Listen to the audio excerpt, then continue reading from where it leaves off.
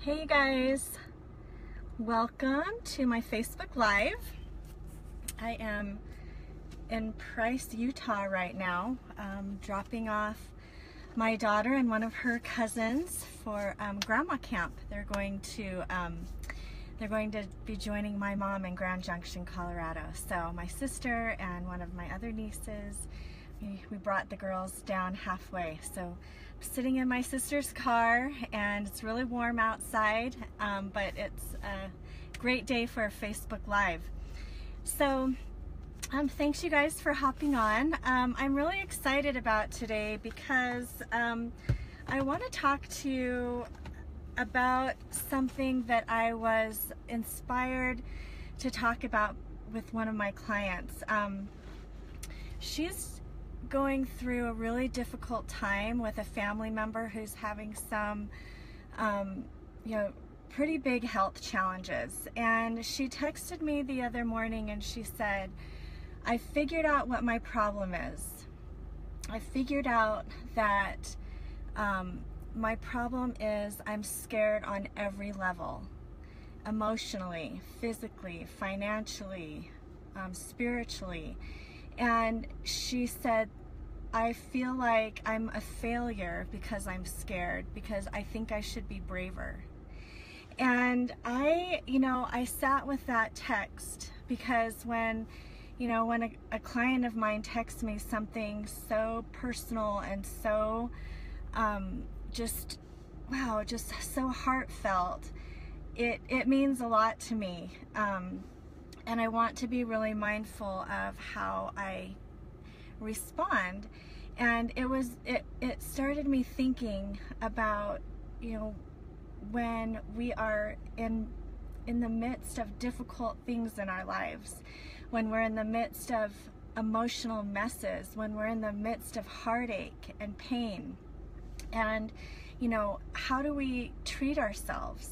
You know what do we say to ourselves? And so I I I said to her I said you know being scared is not a problem. Being scared is a normal human emotion. And there are going to be times in our lives where we feel scared. And some and whatever that is for you it, it doesn't really matter. You know it's um, we all have those times in our lives where we feel really scared and really unsure. And we there are times where we feel angry about our circumstances or what's happening to someone that we love. And um, and so I, I said to her, what if you were more kind and gentle with yourself? What if you realized that all of these emotions were just a normal, natural part of your life? And and being able to show up every day, being able to care for your loved one every day, wanting to be strong, wanting to feel spiritual, wanting to feel connected to God. Um, you know that that the just keep just showing up every day is so brave. Okay, and and I asked her, I said, you know, what, you know, if you were talking to your grandchild or if you were talking to a friend and they were sharing with you, oh my gosh, I just, I feel so scared. I feel like a failure. I feel like I'm not good enough or brave enough. You know, you wouldn't tell them, well, yeah, you are a failure if you feel sad. You are, a, that is a problem to feel that much fear. Like you would never say that to somebody else. But a lot of times we say that to ourselves. And a lot of times we just don't give ourselves the, the, the permission to be in a mess and to feel our emotions. And we, we want to stuff them. We think sometimes we think that, that we shouldn't feel that way, that we should be stronger. And I, I want to give you all permission to just go ahead and feel whatever feelings you have. Because the more that you um, fight against that, the more that you tell yourself your feelings are wrong or bad, then you get stuck in them. And it's a, and then you're stuffing them and then it creates a lot of um, just discontent. And that's how um, that's how a lot of resentment can build up. And it can have a physical effect on your body. And science is proving that more and more that our emotions, if we're not taking care of them, if we're not allowing them to process, that it can have a really big physical effect on your body. And so you might notice, like, you can think about whether you have like stomach aches or headaches or um, anxiety or little panic attacks. Like, a lot of times, or, or even depression. Depression can be, I heard this the other day in a talk that I listened to from a psychologist. Like, depression is oftentimes the suppression of emotions. And we, we learn to do that as children. But sometimes, um, I don't know, maybe teachers or parents, have you ever heard as you were a child, hey, you shouldn't feel that way. You don't need to feel bad about that. That's not, that doesn't hurt. That, I mean, sometimes, you know, as parents, and I'm guilty of this myself, but sometimes we discount how our children feel, even if it doesn't make sense to us. Anytime we, we discount that, um, it teaches a child to like stuff those feelings or that that's wrong to feel that way. And so as adults, it's time to take responsibility for that. It's time to understand the truth that our feelings are okay and that we can be kind and gentle with ourselves. And even if somebody else doesn't get it, we can get understand ourselves and also um, we can know that God understands us and that that he's with us every step of the way and wants to give us that comfort, wants to give us that healing, wants to help us process. Um, and so my sister and I were talking this morning about how um, as we're going through difficult situations in our lives, it may feel like it's taking a long time to overcome emotions. And then but but the most important thing is to just be consistent right? Just keep showing up keep being kind and gentle with yourself. And she was sharing an experience where um, like the transformation just happens. And I've felt that before too where um, where I'm going along, going along, feeling like, how am I ever going to overcome this? And then one day, because I've, I keep showing up, that peace comes. Those fears start to dissipate and they get smaller. And I think we all go through that process.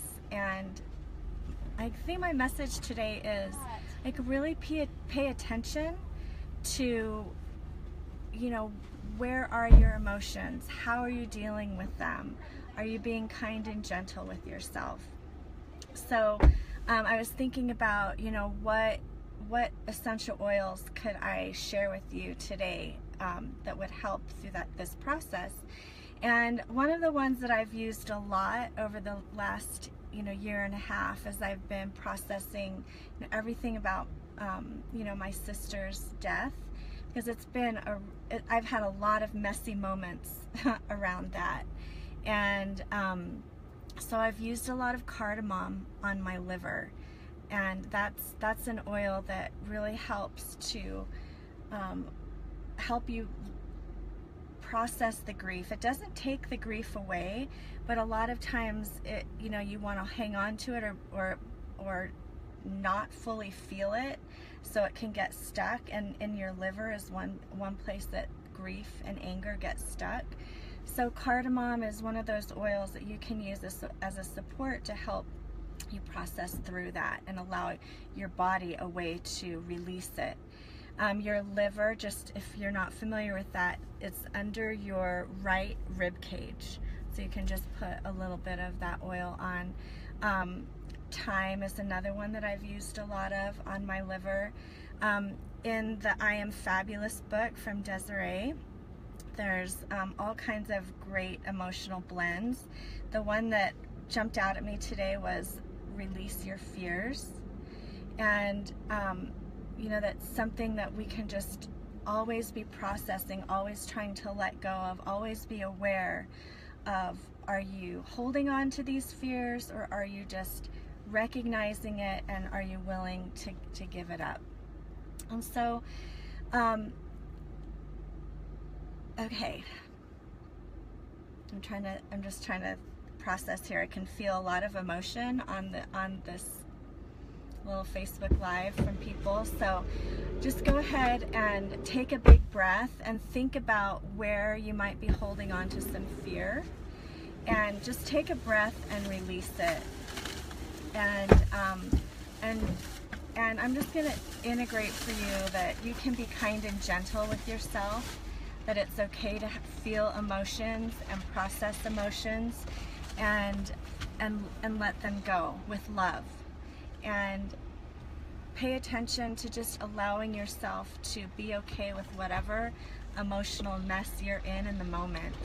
And as you're okay with that and just trust it and trust the process, then you're going to be able to let that go and, and have more compassion towards yourself and others. You're going to find forgiveness a lot easier and you're going to have a more um, like a stronger connection with the divine and getting that help that you need. So that is my message for today. Um, thanks for being here, you guys. I love you, and I um, I'm just sending you lots of love and light. So I hope you have a great day. Bye.